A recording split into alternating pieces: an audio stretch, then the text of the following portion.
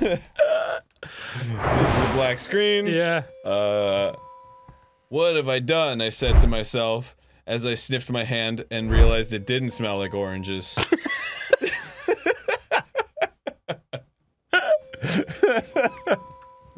so you you've done that, right? What are you talking about? You know when when, when a kid's like a kid's like does this whole bit on your hand and then they're like, oh the orange trucks go from finger to finger and then they mm-hmm. crash mm-hmm. and then they go boom and then you like smash your hand into the other kid's hand and you're like now your hand smells like oranges and then and then you're like what and you put it up to your face and then they smack your hand in your face.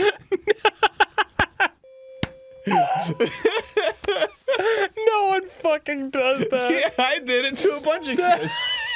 it was hilarious, and they almost died. So you have the added indignity of like having someone punch your hand a bunch of times and then punch your face, essentially. yeah. With your own hand. Yep. That's brutal.